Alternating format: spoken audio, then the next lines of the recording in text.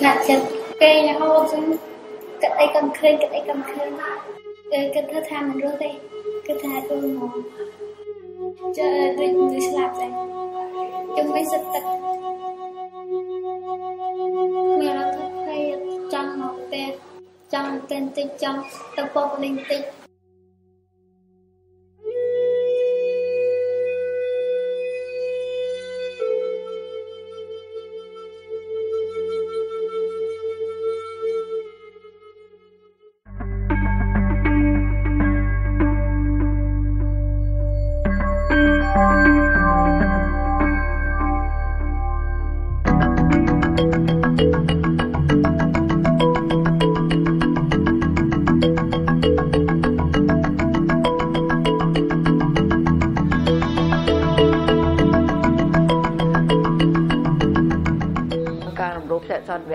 ដូចជាការប្រើហិង្សាឈ្មោះវាដូចគ្នាក៏ប៉ុន្តែគ្រាន់តែរំលោភធម្មតាអឺមួយទល់មួយទេអញ្ចឹងយើងឲ្យយមនៃបានតើតទៅនឹងរឿងរំលោភបោកបានន័យថាការរំលោភដែលមានគ្នាច្រើនប្រុសច្រើនគ្នារំលោភទៅលើស្ត្រីតែម្នាក់អញ្ចឹងឯងគេហៅថារំលោភបោកតនកម្មតនកម្មទៅលើផ្លូវភេទដែលប្រេងផ្សៃនឹងសាហាវបំផុត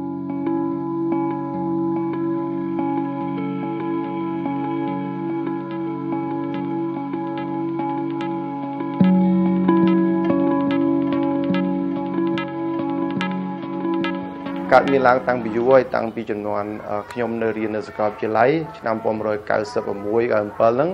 គឺមានកើតឡើងយុវវ័យដែលរៀនសាលាមួយគ្នាហ្នឹងគឺគាត់និយាយប្រាប់ថាយកស្រីទៅបោកយកស្រីទៅបោកហើយគាត់សប្បាយគាត់និយាយសើចលេងសប្បាយនៅប្រទេសកម្ពុជាយើងក៏ដូចជាប្រទេសមួយចំនួននៅលើសកលលោកដែរគឺ គេអាចដឹងបានច្រើនគួរសមអំពីរឿងអំពើហិង្សាលើស្ត្រីណាប៉ុន្តែ ឈានមកដល់ការរំលោភគឺប្រទេសតិចណាស់ដែលមានការស្រាវជ្រាវពាក់ព័ន្ធនឹងរឿងរឿងរំលោភនឹងបងការស្រាវជ្រាវនឹងរកឃើញតែចំពោះស្ត្រីរុស្ស៊ីទៅពេលទេក្រោយមកគឺសកម្មភាពនឹងគឺគេធ្វើទៅលើ entertainment worker ឥឡូវជំងឺនឹងវាហាក់បីដូចជាជំងឺឆ្លងជាងការរំលោភបោកហ្នឹងរៀបដាលមកស្ត្រីធម្មតាហើយមានកើតឡើងស្ទើរតែគ្រប់ខេត្តរឿងរំលោភហ្នឹងគឺថាស្ទើរតែជារៀងរាល់ថ្ងៃហ្នឹងហើយហើយបើនិយាយពីរំលោភបោកហ្នឹងគឺថា មួយខែហ្នឹងយើងលើសូរម្ដងពីរដងតាមរយៈប្រព័ន្ធផ្សព្វផ្សាយណាអាហ្នឹងបើយើងឃើញនៅអ្វីដែលយើងមិនឃើញទៀតវាអាចច្រើនជាងនឹងទៀតដោយករណីរំលោភបោកនៅតាម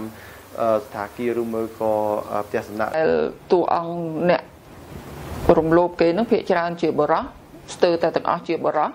អញ្ចឹងបរោះហ្នឹងគាត់ហាក់ដូចជាទុកស្ត្រីហ្នឹងដូចជាវត្ថុជារបស់ដែលគ្មានវិញ្ញាណណា ចង់ធ្វើអីក៏ធ្វើទៅអត់មានការព្រមព្រៀងអត់មានដូចថាឲ្យការយល់ព្រមទាំងអស់គ្នាវាដូចជាអត់បានគិតពីហ្នឹងចាត់ទុកដូចជារបស់ដូចជាវត្ថុឆន្ទៈរបស់ជនរងគ្រោះហ្នឹងគឺគាត់អត់មានព្រមព្រៀងទេអញ្ចឹងអ្វីដែលគាត់មានវិបត្តិផ្លូវចិត្តនៅពេលដែលគាត់ជួបបញ្ហាហ្នឹងកើតឡើងគឺទី1ខ្មាស់គេទី2ទៀតអាចគាត់គិតថាមានតែផ្លូវស្លាប់ទេគឺជារឿងល្អបំផុត ទី3គាត់យល់ថាគាត់អស់ហើយ គាត់អត់មានអីសម្រាប់សល់សម្រាប់គាត់តទៅមុខទៀតទេគឺជីវិតគាត់គឺបញ្ចប់ត្រឹមហ្នឹងវាល្អជាងបន្តទៅមុខព្រោះគ្រួសារសង្គមនិងអ្នកនៅគេហៅថាអ្នកដែលស្រឡាញ់គាត់ហ្នឹងគឺបោះបង់គាត់ចោល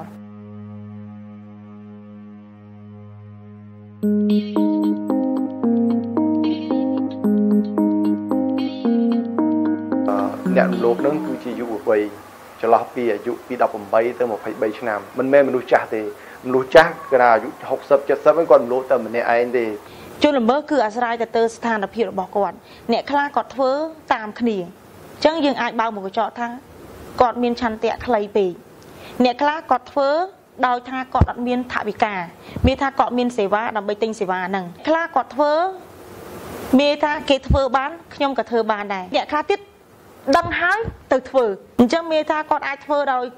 មានឆន្ទៈឬក៏មិនមានឆន្ទៈតែសំខាន់បូករួមចូលមកគឺចំណេះដឹងនៅមានកម្រិតផលប៉ះពាល់ការរំលោភបុកនឹងវាប៉ះពាល់ធ្ងន់ធ្ងរណាស់ហ្នឹងគឺទៅលើជាតិសាសន៍ខ្លួនឯងហើយនឹងផលប៉ះពាល់ទៅលើទេសចរប្រសិនបើស្ត្រីឬមួយក៏បរជនបរទេសដែលគាត់មកស្រុកខ្មែរហ្នឹងគាត់ញញឹតញើមក្នុងការ មានន័យថា trekking គាត់ដើរកំសាន្តហ្នឹងគាត់មានការភ័យព្រួយហើយមួយទៀតប៉ះពាល់ទៅលើសង្គមជាតិយើងហ្នឹងគឺស្ត្រីធម្មតាត្រូវបានគេមើលឃើញហ្នឹងថាឲ្យស្ត្រីហ្នឹងគឺថាគឺជា target គឺជាគោលដៅមួយសម្រាប់បរិសុទ្ធក្នុងការចាប់រំលោភអញ្ចឹងបើក្នុងប្រទេសមួយអត់មានសវត្ថភាពផងតើយើងរស់នៅដោយរបៀបម៉េច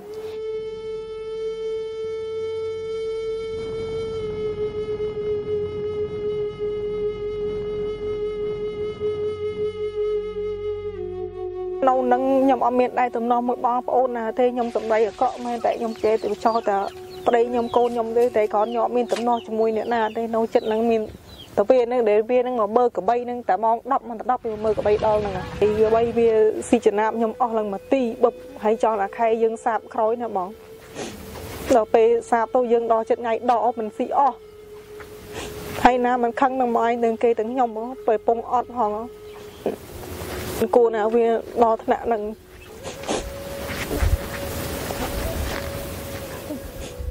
កូនខ្ញុំនឹងខ្ញុំខែស្ទង់អានោះខ្ញុំទុកវានឹងចោលនៅមួយបងមួយមីងចាំផ្ទះលេងហ្នឹងមួយកូនខ្ញុំមកបងមកជែកហ្នឹងហើយជាមួយមីងវាពូវានៅជុំវិញហ្នឹងខ្ញុំទៅស្ទង់គេឯបងហ្នឹងបងផ្ទះនេះតបហើយម៉ោងចូលមិន10ក៏ខ្ញុំបាត់កូនកូនខ្ញុំអាជែកអាបងវាទៅប្រាប់ខ្ញុំ ក៏ខ្ញុំមកវិញខ្ញុំដើររស់សួរដល់តាដល់អីក៏រស់អត់ឃើញអីអត់ឃើញហ្នឹងទៅក៏ខ្ញុំដើររស់រស់អត់ឃើញមួយថ្ងៃដើររស់សួរបងសួរកូនក៏អត់ឃើញទាំងអស់ដល់តែស្អែកម៉ោង4 30នាទីហ្នឹងឯងมันឃើញកូននៅខាងលិចផ្ទះត្បូង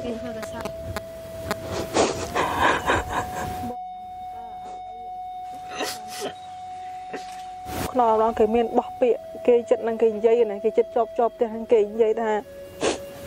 គេចោលគុកជីវិតកូនគេនៅរស់តែចំពោះកូនខ្ញុំកូនខ្ញុំស្លាប់ទៅដោយខ្មោចឆ្កែគ្មានស្អីមិនតិចទៅប្រហែលអីម៉ានក៏អត់ទាន់ដឹងដែរតែភ្នែកកូនខ្ញុំនៅបើកទាំងអស់ចង់បានទៀមទាទៅឲ្យតាតុលាការ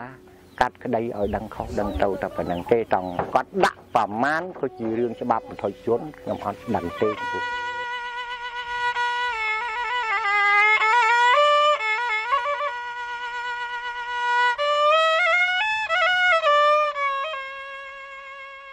បើយើងវិភាគទៅវាជាបទអក្រិតហើយអញ្ចឹងបើសិនជាជនល្មើសគាត់ប្រព្រឹត្តទៅលើជនរងគ្រោះគាត់នឹងត្រូវទទួលទោសអក្រិតចាប់ពី7ឆ្នាំដល់15ឆ្នាំដើម្បីកាត់បន្ថយរួចផុតនឹងផងដែរក៏អាជ្ញាធរនឹងក៏គិះវាងការសម្រួលផងដែរមិនមានអីសោះព្រោះយើងទាំងអ្នកដែលយកលុយពីជនល្មើសក៏ត្រូវមានទោសដែរព្រោះអាហ្នឹងយើងបាត់បង់ទោសរបស់ជនល្មើសមួយទៅហើយ អឺมันយើងមិនបានផ្ដន់ទាទោសជនមើលដើម្បីរុញជនមើលបញ្ជូនជនមើលទៅឲ្យច្បាប់ទេបើនេះយើងត្រូវគ្នាដើម្បីយើងឲ្យគាត់បង់ជំងឺចិត្តឲ្យយើងវាខុសនឹងច្បាប់បាត់ទៅហើយហើយអ្នកដែលធ្វើត្រូវតែទទួលទោសទៅតាមច្បាប់ហើយទោសនោះឲ្យស័ក្តិសមទៅនឹងអ្វីដែលបានប្រព្រឹត្តសមត្ថកិច្ចដែរគាត់មានការចាប់បកប្តឹងផ្ដាល់ការចាប់ហើយកាត់ទោសអីយ៉ាងដែរក៏ប៉ុន្តែអាការដែលធ្វើនឹងអឺនៅតែនៅតែមានការកើនឡើងអញ្ចឹងហើយអញ្ចឹង មានន័យថាការផ្សព្វផ្សាយយើងវានៅមាននៅមានកម្រិតនៅឡើយយ៉ាងទៀតអឺឲ្យផ្សព្វផ្សាយឲ្យប្រជាពលរដ្ឋចេះប្តឹងបាទចេះប្តឹងចេះរកសេវាអង្គការចេះទៅរកប៉ុស្តិ៍ប៉ូលីសហើយនឹងប្តឹងឲ្យតាន់ពេលផងដែរជារឿងដែលយើងត្រូវតែយកចិត្តទុកដាក់ទាំងអស់គ្នា